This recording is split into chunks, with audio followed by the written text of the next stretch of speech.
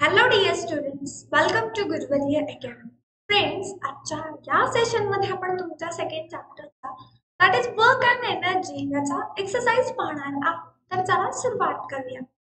Question number first write detail answers आपल्याला डिटेलमध्ये answers लिहायचे आहेत. त्यामध्ये बघा first explain the difference between potential energy and kinetic energy आपल्याला पोटेन्शियल एनर्जी आणि कायनेटिक एनर्जी यांच्यामधला जो फरक आहे तो स्पष्ट करायचा आहे. त्यासाठी दोन कॉलम्स बनवा. त्यामध्ये first kinetic energy second potential energy त्यामध्ये कायनेटिक एनर्जी मध्ये first point the energy which are object has because of its motion is called its kinetic energy secondly potential energy काय असते बघा? energy stored in an object because of its specific state or position is called the potential energy. आता त्या पुढे बघा The relation for kinetic energy of an object of mass m and moving with speed v is kinetic energy is equal to 1 by 2 that is half mv square. The relation for potential energy of an object of mass m Due to Earth's gravity g is acceleration due to gravity held at a height H above ground is PE that is potential energy M G आता त्या पुढचं बघा. Next question B derive the formula for the kinetic energy of an object of mass M moving with velocity V आपल्याला velocity V यासाठी एक formula काढायचा आहे. तो consider a body of mass M moving with a uniform acceleration along a along straight line If u is the initial velocity of the body, v is the final velocity and s is the distance covered by the body during this change of velocity. त्यापुढे बघा आता we have equations आता जे काही equations सध्या तुम्हाला स्क्रीनवरती मांडलेले दिसत असतील तर सेम त्याच पद्धतीने तुम्हाला हे इक्वेशन्स डिराईव्ह करावे लागतील So what will be the final answer? The final answer will be the kinetic energy of the body that is equal to 1 by 2 that is half mv square.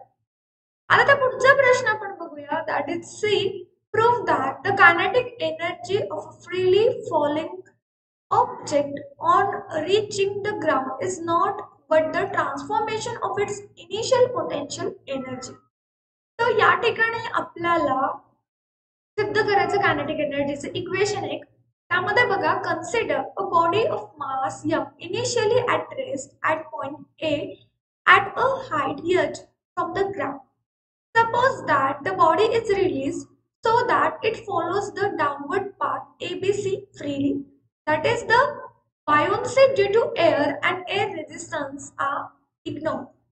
आता यामध्ये जे काही इक्वेशन आहे ते तुम्हाला स्क्रीनवरती मांडलेलं दिसत असेल. सो ते लक्षात घ्या. आणि त्याच पद्धतीने तुम्हाला सुद्धा इक्वेशन मांडून हे आन्सर प्रूव्ह करायचं आहे.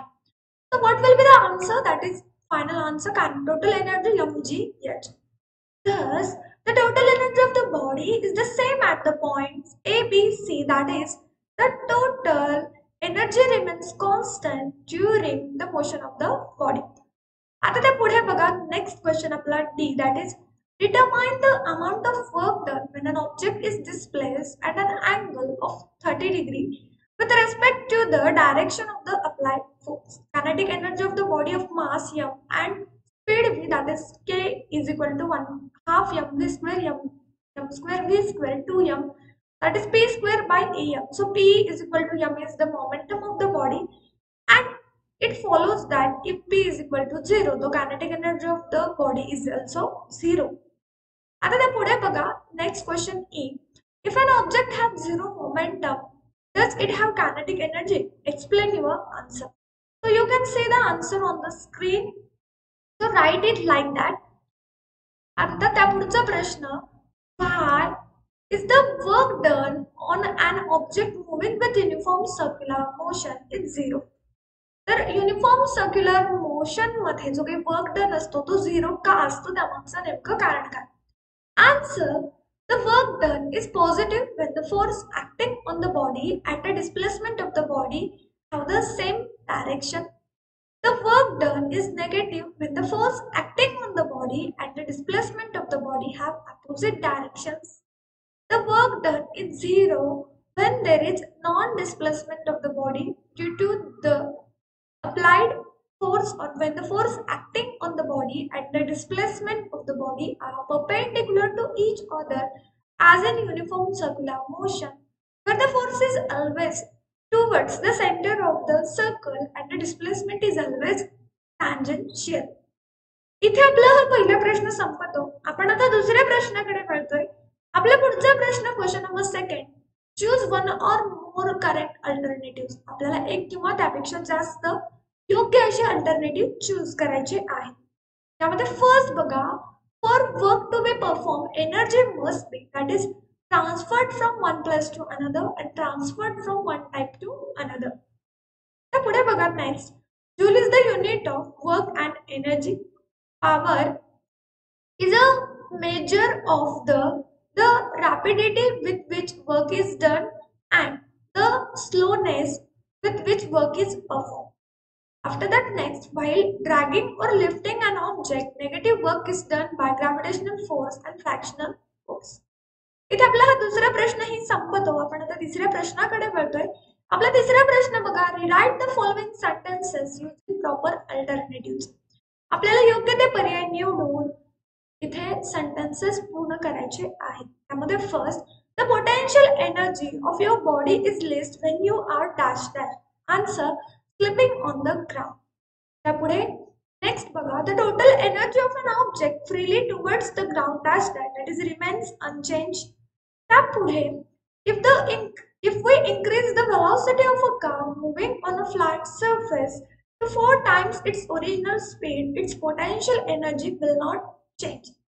And त्यानंतर बघा the work done on an object does not depend on initial velocity of the object त्या पुढचा प्रश्न क्रमांक चार.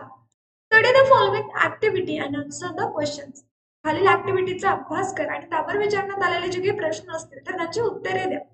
त्यामध्ये बघा first take two aluminium channels of different lengths Place the lower ends of the channels on the floor and hold their upper ends at the same height.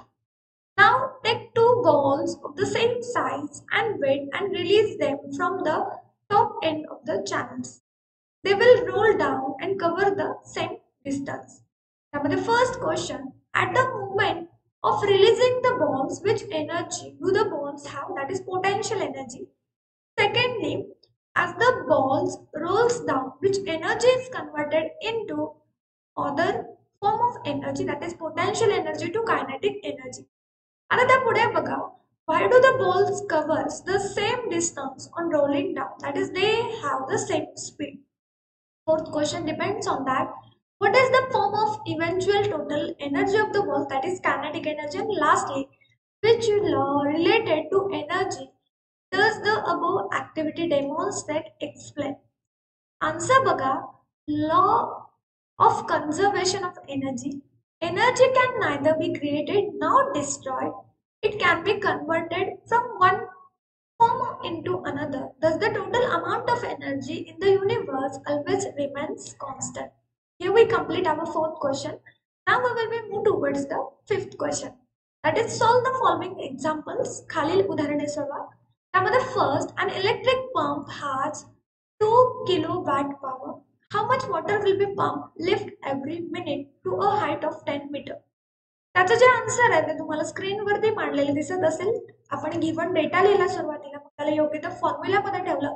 त्याचे calculations केले and what will be the answer the final answer that is this give the required mass of the water that is one nearly one thousand two hundred and twenty four K G या पुढचा प्रश्न if one thousand two hundred watt electric iron is use daily for thirty minutes how much total electricity is consume in the month of April given data put up in to the formula calculations and what will be the final answer that is eighteen units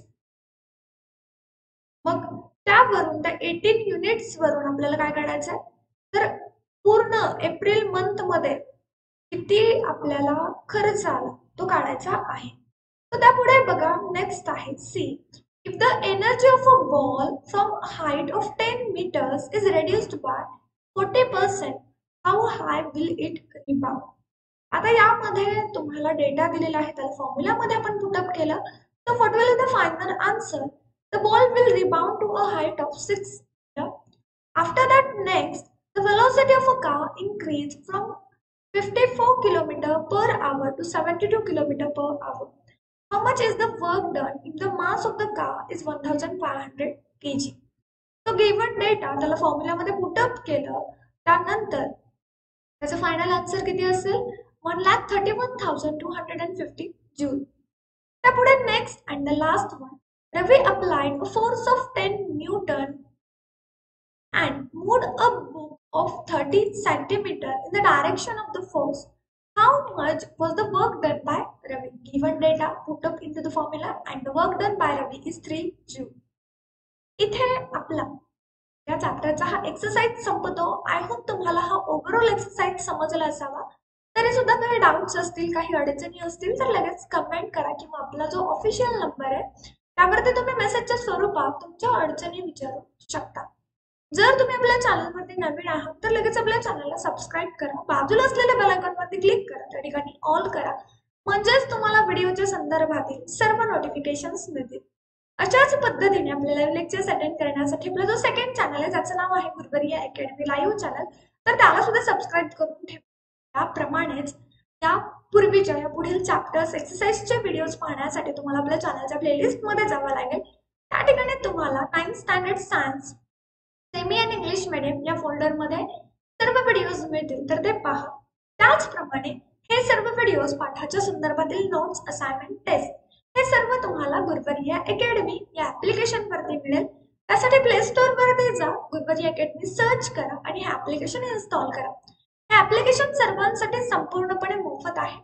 तर या ऍप्लिकेशनमध्ये पण chat section दिलेलं आहे ज्या अंतर्गत तुम्ही पाठाच्या chapters और एक्सरसाइजच्या संदर्भात असणारे तुमचे डाऊट्स तुमच्या इतर क्लासमेट समोर ग्रुप डिस्कशन करून सॉल्व्ह करू शकता. त्या ठिकाणी आपले टीचर्स ही आहेत तर त्यांच्याशी सुद्धा तुम्ही ग्रुप डिस्क त्यांच्याशी सुद्धा डिस्कस करून तुम्ही तुमचे सर्व डाऊट्स क्लिअर करू शकता.